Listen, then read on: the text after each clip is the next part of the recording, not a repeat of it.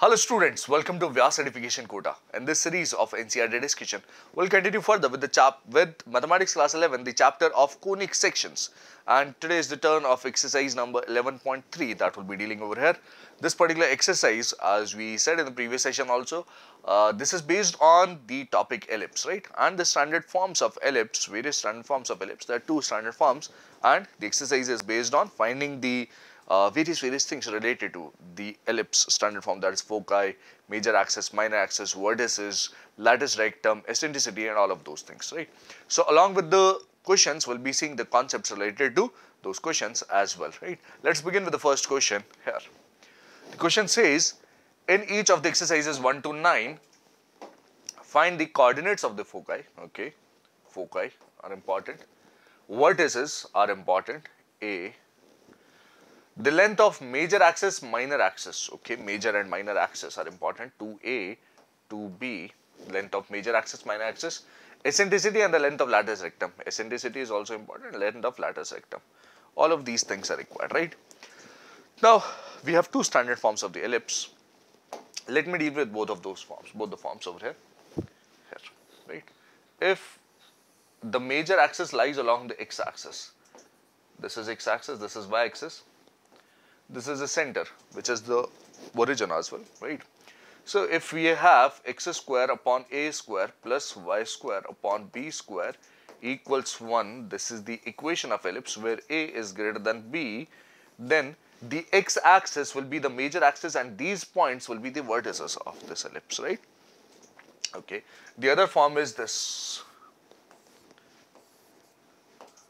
Here equation will look similar. Equation will be x square by b square plus y square by a square equals 1. And once you observe this, here once again, the denominator of y square is bigger as compared to denominator of x square. So, we will get this kind of ellipse. This is vertical ellipse and this is a horizontal ellipse. Okay.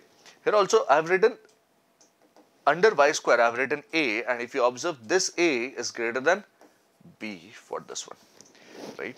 So, what are the properties of these, right? The foci will lie on this major axis over here, okay. The vertices are these. Major axis will be this length 2a, minor axis will be this length 2b over here, okay. What else? Latus rectum will be 2b square upon a, right. So, let me write those things. Latus rectum will be 2b square upon a over here. This is important, right?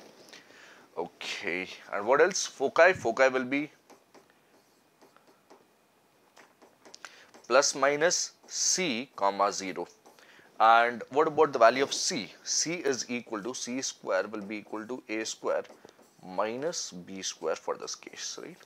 This is what we have, okay. And uh, in this particular question, you can observe that a is greater than b, latus rectum will be equal to what? First of all, let us analyze. This will be the minor axis, this will be the major axis. And the foci will be here on this major axis, right.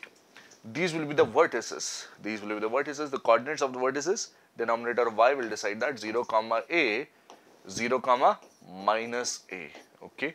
This is 0 comma c, 0 comma minus, sorry 0 comma plus c and 0 comma minus c, these will be the foci the ends of minor axis will be b comma 0, 0 comma sorry minus b comma 0. This is what you have.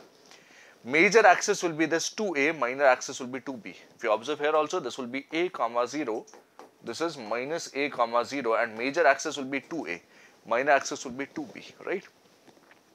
Foci will be 0 comma plus minus c. Latus rectum here as well, the latus rectum will be 2b square upon a. Don't make a mistake over here. Latus rectum will be 2b square upon a. Foci will be on the y-axis 0 comma plus minus c, right? And here c square is again equal to a square minus b square, right? This is what we have. Anything else? Vertices, you can identify the vertices in each of these. This is e comma 0 and here the vertices 0 comma a, 0 comma minus a. Those are the few things that we have with regards to the ellipse in standard form, right. Those are some concepts which are useful, right, which are useful and which will be used to solve such a question.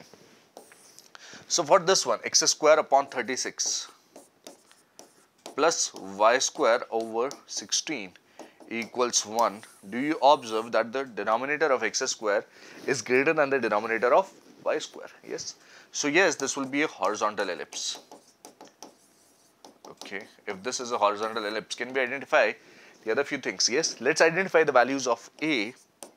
a square is 36, a will be equal to 6 b square is equal to 16 which implies that b will be equal to 4. Those are two important things. On the basis of this c square which is equal to a square minus b square can be identified. What is that? a square minus b square which will be 36 minus 16 this will be 20.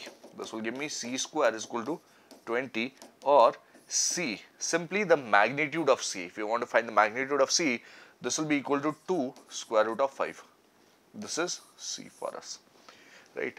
One more thing which is required is eccentricity. Eccentricity is equal to C by A. Eccentricity is simply C by A which tells me that eccentricity will be equal to 2 root 5 upon 6. This is the eccentricity for horizontal ellipse. What about in case of vertical ellipse? Once again you can have C by A over here as well, right? The lengths C and A will be important for finding the eccentricity, right? what else? So, once we have identified A, B and C, we can easily say focus, axis, vertices, coordinates of the foci, the vertices, vertices, these are the vertices, right? The major axis, the minor axis, we can easily identify those things. We have found the eccentricity, one more thing remains latus rectum. With the help of B and A, we can find the latus rectum as well. Yes, those are some things which are easily found after having this much information in mind. So, let me write the answer after this. The final answer that can be written over here will be foci. Foci will be plus minus c comma 0. So, plus minus 2 root 5 comma 0. These will be the foci for this horizontal ellipse, right. Next, vertices, the vertices. So, vertices will be plus minus a comma 0 that is plus minus 6 comma 0. One of them is plus 6 0 0 plus 6 comma 0 the other is minus 6 comma 0. Next major axis the major axis can be written over here major axis which is 2a will be equal to 12. Okay, what about the minor axis? Minor axis which will be 2b minor axis will be 2b this length over here this is 2b and that will be equal to 8 okay. Eccentricity, we have already found the eccentricity, this is the eccentricity and one last thing remains and that is the latus rectum which will be 2b square upon a, okay. I am writing this, this, this and the latus rectum which will be 2b square, 2 times b square upon a, 2 times 16 that is 32 upon 6 which is 16 by 3. In this question, this is the latus rectum and yes, that is the answer for this question, right this, this, this and this.